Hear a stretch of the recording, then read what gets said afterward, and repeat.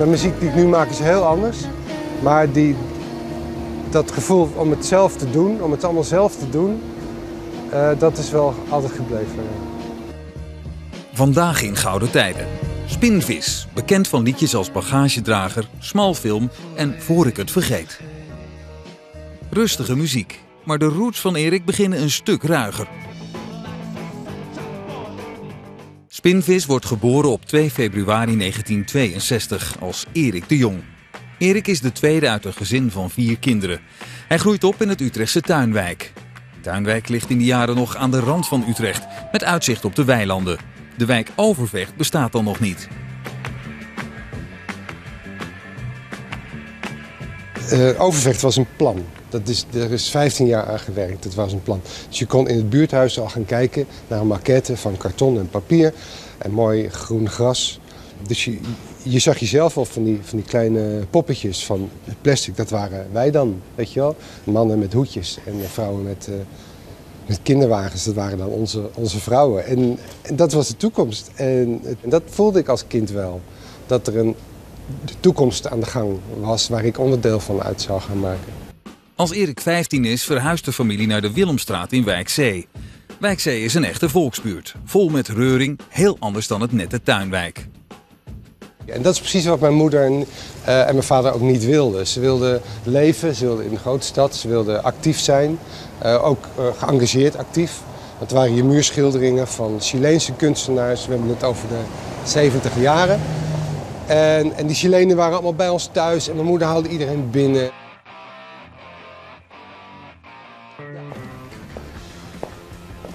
Dit is uh, ons huis en deze deur heeft mijn vader zelf uh, erin gezet. En daar heb ik hem mee geholpen. En toen was hij nog niet blauw, maar toen was hij heel mooi noten, notenhoutkleur. En nou, het hele huis hing vol met gitaren. Mijn ouders hebben elkaar ontmoet, ook in het dansorkestje van mijn opa. Dus de, de familie was allemaal wel muzikaal. Er stond een piano en een, en een traporgel en overal gitaren.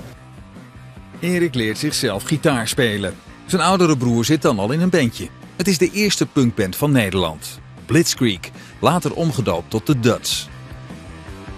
In Engeland en Amerika bestaat de punk al langer door bekende bands als de Sex Pistols en de Ramones. De muziek is rauw, de zang is hard en bij de optredens gaat het er ruig aan toe. Punk is een uitlaatklep voor de frustraties van werkeloosheid en sociale achterstand. Het is simpel en recht voor zijn raap. Zonder enige kennis van muziek beginnen veel jongeren een bandje. Erik wordt door zijn broer aangestoken met het punkvirus. Ik luisterde naar uh, moeilijke uh, prog-rock, symfonische rock, Genesis. En van de ene dag op de andere luisterde ik naar de Dead Boys en, de Ramones. En uh, weet je, dat was bereikbaar. Je, kon die muziek zelf maken. Het zijn drie akkoorden. In plaats van het hele ingewikkelde muziek die mannen in het licht, die ver, een soort goden. En in plaats daarvan maak je dat zelf. Erik gaat bij zijn broer in de band Blitzkrieg spelen. De drummer van de band wordt later eigenaar van de eerste koffieshop in Utrecht, Sarasani. Voor Erik is muziek maken zijn leven. School is niet meer interessant. Ik deed niet zo heel erg mijn best. En uiteindelijk ben ik van de gedroomde gymnasiumleerling snel afgezakt naar de, de MAVO in Zuilen. En, uh, want ik, ik, deed gewoon niet zoveel. Ik had niet zoveel discipline. En ik was met muziek bezig. Je moet je voorstellen, mijn moeder die was natuurlijk die, die, was heel erg bezig met jezelf ontwikkelen. En die ging zichzelf ook ontwikkelen. Dat was de tijd. En die zei, je moet maar, als je maar gelukkig bent, als je jezelf maar ontwikkelt. Dus die school, dat speelde toen niet zo'n grote rol. In 1977 vindt er een optreden plaats dat op de ontluikende punkscene een enorme indruk maakt. De Ramones treden op in een klein jongerencentrum in de binnenstad. Het was uh, legendarisch. Als je het nu hoort, dan dat was de Ramones met in het voorprogramma de Talking Heads. Kan je je voorstellen, in Raza, 1,77 geloof ik.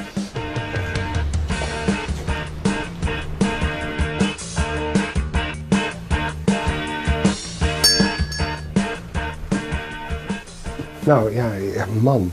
Hier stonden al mijn gitaren en matras op de grond. En, en hier eindeloos veel, veel cassette recorders, spullen, snoeren. Um, uh, ja, alles waar ik dat moment mee bezig was, weet je. En elke avond vrienden en spelen, spelen, spelen, spelen, spelen. Ja, mijn vingers kapot gespeeld in deze kamer.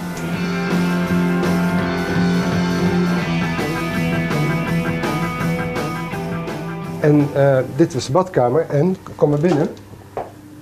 Dit bad heeft mijn vader dus gemaakt, die kon alles. Maar omdat de riolering, die kon niet uh, de grond in, want het is een heel oud huis. Dus de wc die moest op een soort troontje worden gebouwd. Dat wist ik echt niet meer. Nu zie ik dit weer voor het eerst. Dat, oh ja, die wc op het troontje. Oh man. Ik, vind het echt, ik, vind het, ik ben wel uh, ontroerd. echt waar. Ik vind het echt heel leuk dit.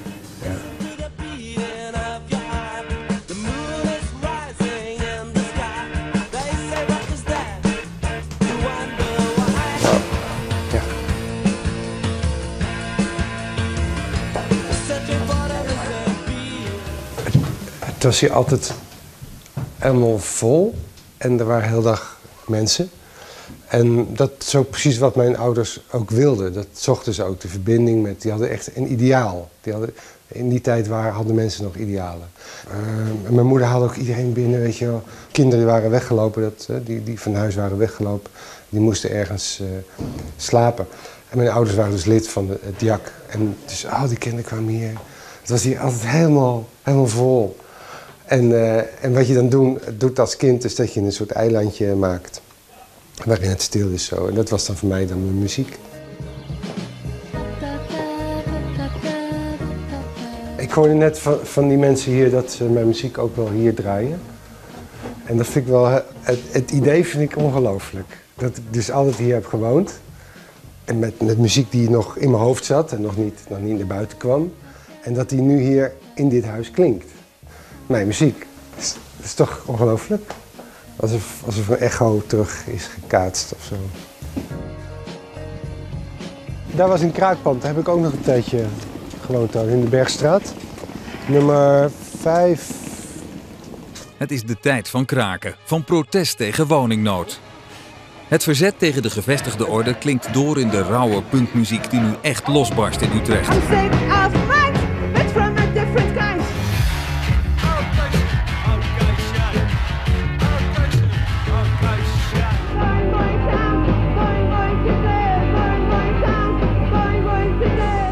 Korte tijd ontstaan er tientallen punkbands. Racketax, Klits, No Respect, Lullabies, The Knicks, Noxious en Disorder.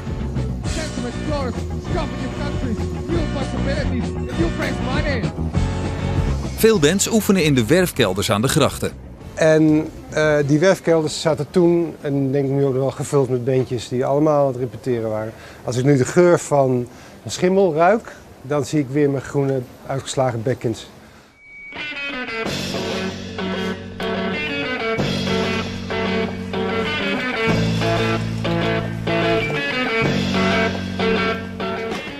Er zijn in de stad maar weinig zalen waar punkbands kunnen optreden. Het Tivoli-gebouw op het Lepelenburg wordt gekraakt als besloten wordt dat het moet sluiten.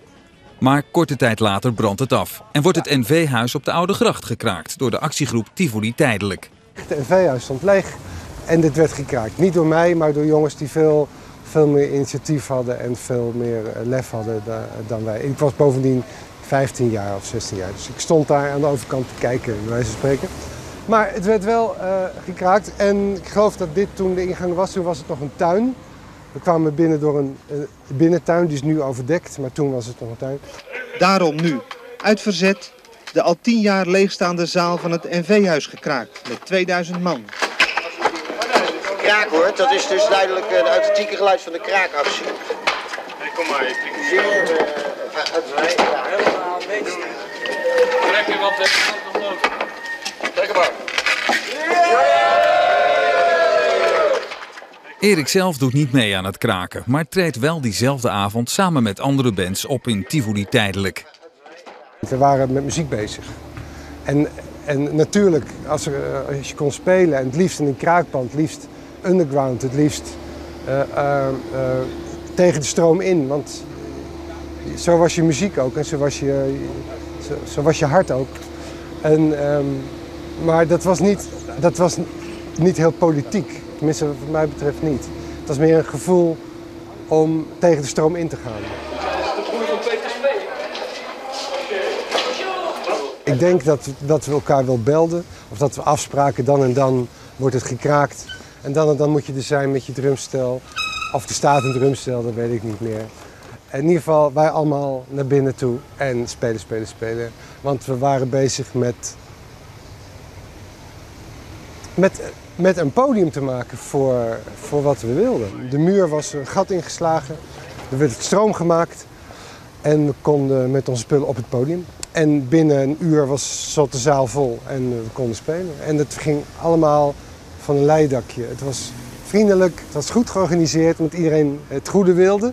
Iedereen hielp mee, want we waren bezig met iets goeds. En dan, als iedereen het idee heeft dat je met iets goeds bezig bent, dan gaan de dingen vanzelf.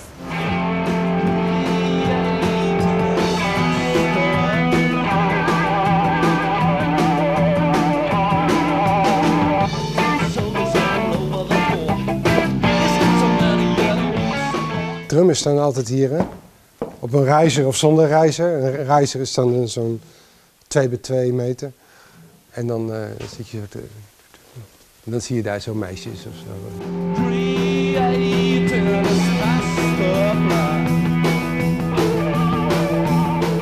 Drummers die, hebben, zitten altijd achter een muurtje. Hè? Is een soort veilig, veilig huisje. In datzelfde jaar, 1979, stoppen de Duts en begint Erik zijn eigen band, Hijinks. Samen met René van Barneveld en Gert van Veen, later bekend van Urban Dance Squad en Quasar. De muziek is inmiddels meer new wave dan punk.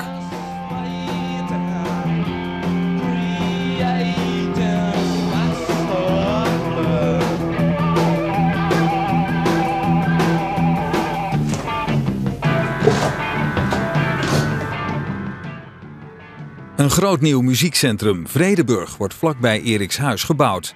Alle muzikale activiteiten in de stad moeten naar dit chique nieuwe onderkomen verhuizen. Maar de punkbeweging ziet dat helemaal niet zitten. En dat was in onze ogen toen het, het, een decadent kasteel van de arrivé en de mensen die het allemaal wel voor elkaar hadden, maar cultureel en artistiek niet interessant. En we voelden ons wel heel erg uh, ontkend. Dus we gingen protesteren, want we konden nergens heen, we konden niet spelen. En er werd hier voor miljoenen een muziekpaleis neergezet. Welkom, welkom in het gevraagde Muziekmausoleum te Utrecht. Doelwit einer actie der NVVG. Pats, boem, krak. Welk een toonbeeld van gezond nationaal besef, waardekijkers. Hup mannen, geef ze van katoen. Liefst met 3 tegen 1, ondanks nijpend personeelstekort. Dat was heel heftig. Dat ging er hard aan toe. Uh, ik, heb, ik stond erbij, ik heb gezien hoe een agent een, een hond, een politiehond, losliet op een meisje. Gewoon losliet. Hond beet haar in haar, in haar been. Bloedbad van gigantisch. En ik denk dat de politie en de gemeente daar toen een hoop kwaad bloed heeft gezet. Mijn broer is toen ook nog opgepakt. Die heeft hier ook nog uh, het politiebureau gezeten. En uh, vanaf dat moment werd, werd het wel harder. Uiteindelijk lukt het om van Tivoli tijdelijk een officieel poppodium te maken. Ook komt er in een gekraakte zaal onder een parkeergarage nog een podium bij. De vrije vloer. In muziekcentrum Vredeburg treedt Erik jaren later zelf op. Nu ben ik groot en speel ik daar, weet je wel. Dus ik weet niet hoe ik me moet verhouden nu tot die boze jongen in het leren die daar stond. En de man die ik nu ben, die daar gewoon staat in het plush. Ik vind dat, ik denk er wel over na. Maar zo, zo gaat het. Zo gaat het. Ze wachten bij de nieuwe stad en landen op het nieuwe zand. In de jaren 90 verhuist Erik naar Nieuwegein. Hij blijft muziek maken en bereikt rond zijn 40ste een groot publiek onder de naam Spinvis. Nog steeds doet hij liever alles zelf tot en met het maken van zijn videoclips. Ochtend was alles af. Geboorte, grond en zeemanschap. Is het toch zo fijn. Volgende week zijn we in Eemnes, waar we teruggaan in de tijd met Henk van der Horst van Fars Majeur. kille kuu, kille kille hopsassa.